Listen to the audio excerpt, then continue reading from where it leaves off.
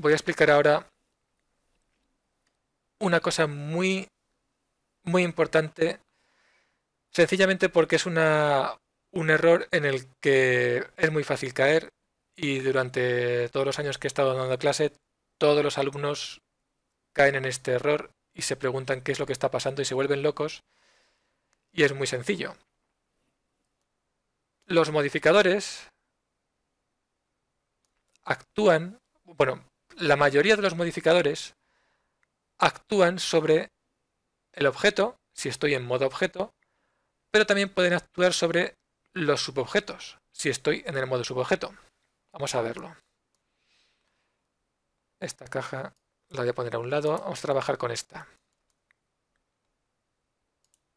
Y vamos a convertirla a Editable Poly para poder hacer una selección de subobjetos. Voy a seleccionar polígonos de esta caja.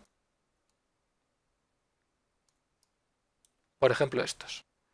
Y le vamos a aplicar un modificador Bend. ¿Veis lo que ocurre, no? Al aplicar el modificador Bend, está afectando solamente a los subobjetos seleccionados. Este modificador afecta solamente a lo que tengo seleccionado como subobjeto. Si salgo del modo subobjeto, este modificador ahora afecta a todo el objeto.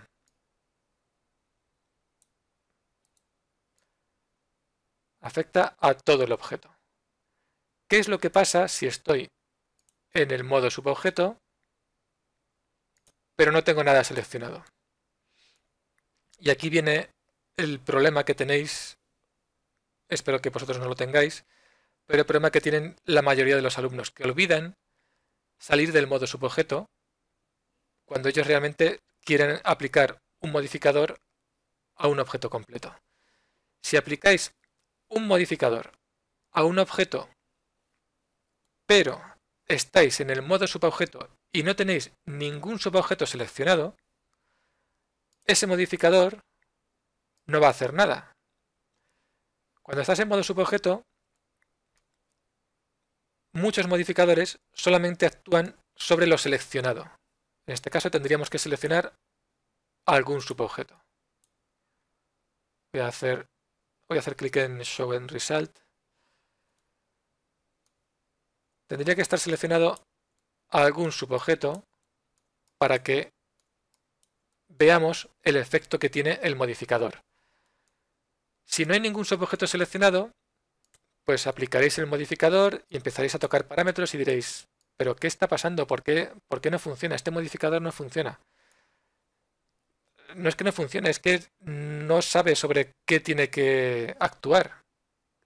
Estamos en modo subobjeto, no hay nada seleccionado, pues le estamos diciendo que no tiene que hacer nada.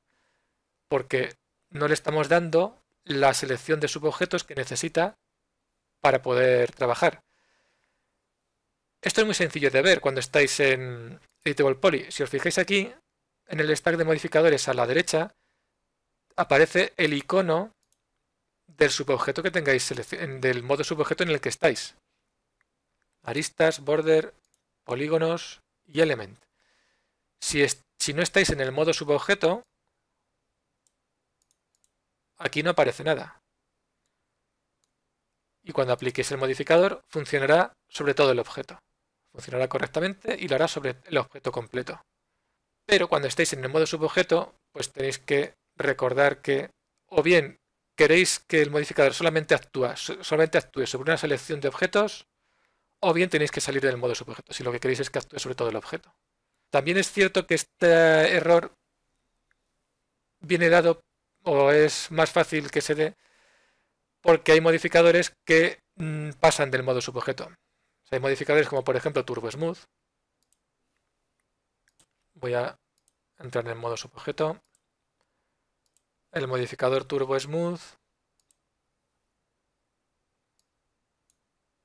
actúa sobre todo el objeto, o sea, actúa sobre el objeto sin importar sin importar que estemos en modo subobjeto o no. Podéis estar en modo subobjeto sin nada seleccionado aplicáis Turbo Smooth, y funciona. Pero hay muchos otros modificadores, la mayoría, que no funcionan así. Solamente funcionan cuando tenemos una selección hecha en el modo subobjeto o cuando estamos en modo objeto. Y esto quería recalcarlo porque es una es un error que se produce todos los años y, es verdad que os, eh, os resulta poco es que es poco intuitivo. No es que os resulte poco intuitivo, es que es muy poco intuitivo. Entonces es muy fácil volverse loco y decir qué está pasando, qué está pasando, cuando la respuesta es el modo subobjeto.